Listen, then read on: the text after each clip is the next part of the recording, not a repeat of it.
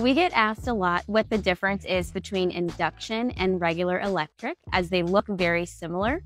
So, this is an induction cooktop. As you can see, it does look like an electric cooktop.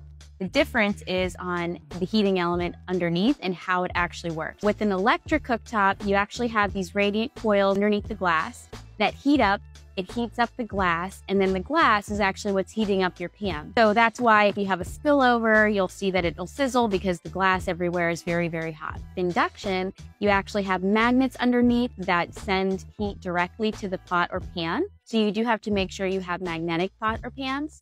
But basically, by bypassing the glass, you then don't have all of that extra heat around it. Have a spillover. It it's not going to sizzle and bake and into the glass. You also don't have extra heat that you don't need coming out.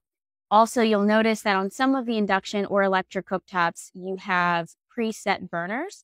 So if I have a burner that is bigger than my pot or pan and I turn that on, only directly underneath my pot is going to get hot. So none of this here, while this is cooking, is actually hot. So that's just a nice safety feature and nice for the cleaning aspect as well. Another benefit to induction is once I'm done cooking, once I remove this, this will be nice and cool to the touch after a couple of minutes. So that's nice for cleaning. It's nice for safety. If you have little kids around or pets,